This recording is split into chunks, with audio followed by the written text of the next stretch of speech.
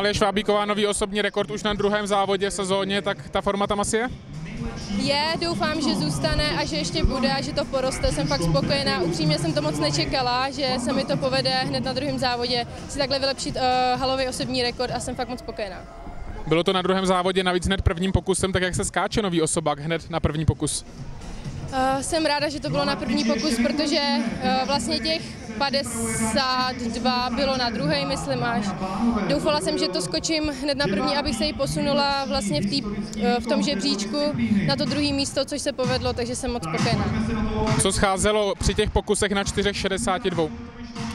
Chtěla bych říct, že síla, ale ta furt byla. Asi pořád ještě vyladit ten rozběh, protože uh, ho nemám ještě tak vyběhaný a technika možná lepší nájezd do tyče, ale věřím, že se to povede a že to vylepším a že to ještě poroste.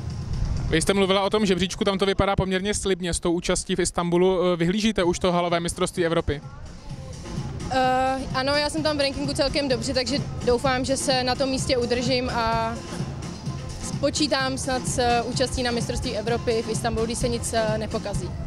Jaké teď budou vaše další atletické plány?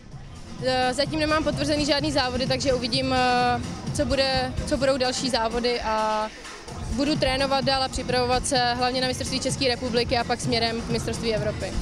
Děkuji a gratuluju. Děkuji moc. Díky.